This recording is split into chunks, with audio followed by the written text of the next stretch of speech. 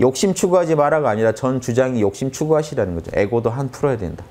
욕심의 소리. 그래서 나는 뭘 하지? 게임을 어떻게 진행하지? 게이머들은 괴물 잡으러 뛰어다니면 되는데 여러분들은 지금 갑자기 어디로 갈 것도 아니고 여기서 뭐 하지? 욕심의 소리를 들어보세요. 에고가 뭐 하자고 하는지 들어보세요. 그거 따라가세요. 에고가 하자는 거 따라가되 양심으로만 처리해 놓으시면 돼요. 쉽지 않나요? 게임하는 거. 이렇게 실전 요령 얘기해주는.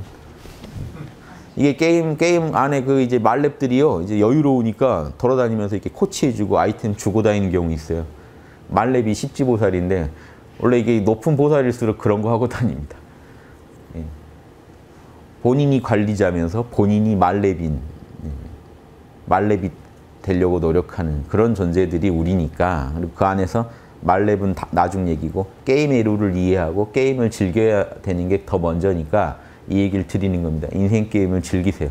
가만히 있을 때 뭘 합니까? 욕심이 욕심이 이끄는 대로 가세요. 거기 그 잡아야 될 그 괴물들이 있어요.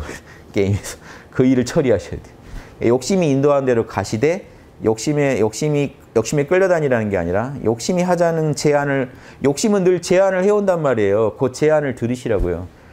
오늘 정말 할 일이 없는데요. 그런 거 없어요. 욕심이 뭐라고 얘기해요.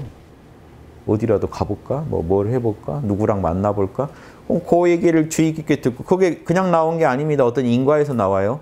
욕심이 떠드는 것도 과거 여러분이 해놓은 인과 때문에 나와요. 뭔 이유가 있으니까 나와요.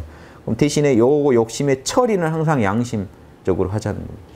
그러면 하루에도 할 일이 많아요. 저도 가만히 있으면 욕심이 뭐라고 얘기해요. 학당을 이렇게 해볼까? 그럼 제가 무시 안 하고 들어봅니다. 얘기 더 해봐. 에고가요. 별의별 소리를 다 합니다. 하라 그러면.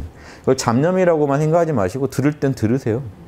자명한 것만 딱 취해서 양심 분석해서 그거 써버리시면 그만이에요. 이게 여러분이라는 나라 한 우주를 경영하는 리더가 해야 될 당연한 임무입니다. 회사 경영도 똑같아요. 국가 경영도 똑같고. 이러니까 수신을 잘하면 치국 평천하도 한다는 말을 하는 거죠. 이해되시죠?